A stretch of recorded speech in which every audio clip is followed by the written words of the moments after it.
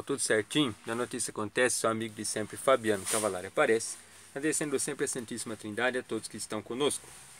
Eu esqueci de falar no outro vídeo, perdão. Se ainda não é inscrito ou inscrita, não perca tempo. Se inscreva, compartilhe, critique e deixe o seu joinha. Clica no sininho para ter notificação de novidade conforme a possibilidade. Bom, não gosto de ficar lendo assim, porém, muitos dados, muitas informações, né?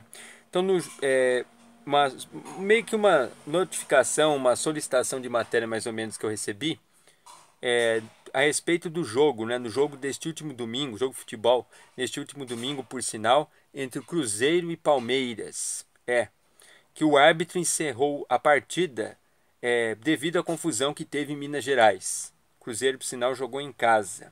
De acordo com uma imagem que eu recebi, é, sendo do Globo Esporte, site deles na internet que eles divulgaram aí, em que torcedores parece, do Cruzeiro parece que carregavam outro torcedor junto, que talvez teria sofrido algum, alguma agressão, alguma coisa, não sei, de acordo com o que fala a imagem lá.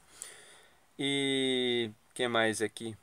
Bom, e o Cruzeiro sendo rebaixado aí para a segunda divisão, para a Série B do Campeonato Brasileiro de Futebol para 2020.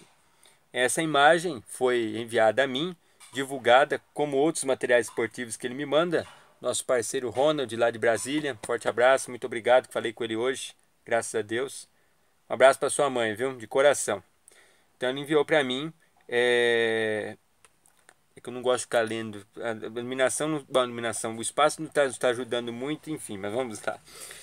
Então, uma imagem que foi divulgada no particular no WhatsApp neste último domingo, dia 8 de dezembro de 2019, é, cadê aqui? Às 6 horas e 1 minuto da tarde. É isso, isso mesmo. Tentei dar uma resumida, é isso mesmo, são essas informações. Então eu queria saber o que vocês acham sobre isso. Né? É uma notícia a respeito de futebol, torcedores, e não estamos aqui para julgar ninguém. Assim como aconteceu aí no jogo de comercial e 15 de Piracicaba, há, um, há pouco tempo atrás, teve toda uma repercussão, os comentários bairristas, e aqui ninguém julga ninguém, quem julga é Jesus Cristo, e quando a gente aponta o dedo, um contra Deus, um contra a pessoa e três contra a gente. estou trazendo a informação. Eu quero que vocês falem, claro, sem querer julgar ninguém, o que vocês acham sobre isso. E eu volto já com uma notícia de Ribeirão Preto, se Deus quiser. Chique na bota. Uou!